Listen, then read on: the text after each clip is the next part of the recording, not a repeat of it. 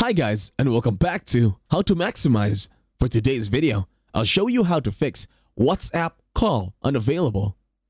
To start, open your settings application in your mobile device. Once you are in settings, scroll down. And then in here, look for apps. Over at apps, this time use the search bar. In the search bar, locate WhatsApp. Or you can type WhatsApp.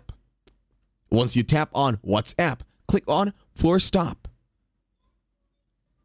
And then the next step is go to storage and then clear cache. Once done, you can now close settings. Once you close settings, this time open and locate your Google Play Store. Once you are on Google Play Store, tap the search bar this time and then type in WhatsApp. In here, you will need to either update, reinstall, or re-download your WhatsApp. And then you should all be good to go.